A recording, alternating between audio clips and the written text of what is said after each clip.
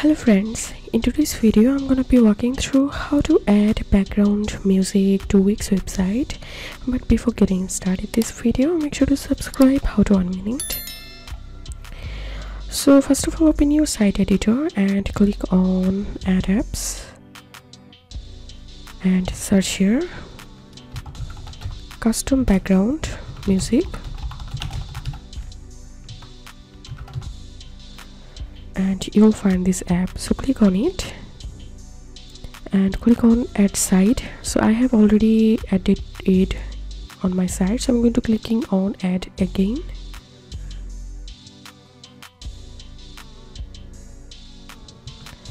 So here you can see the player has been added and now position the player and now click on settings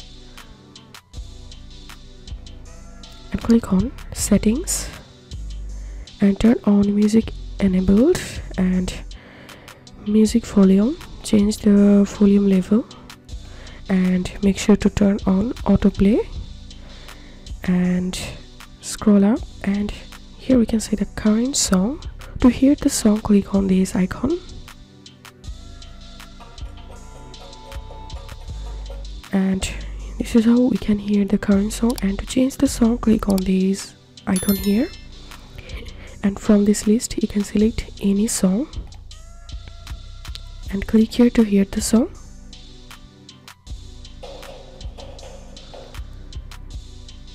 So then click on save. So this is how we can add background music to wix website if you have any questions, feel free to post in description. If you think to see more WordPress videos, please check the links in descriptions. If this video helped you, give a thumbs up and please consider subscribe how to one minute. Thank you for watching.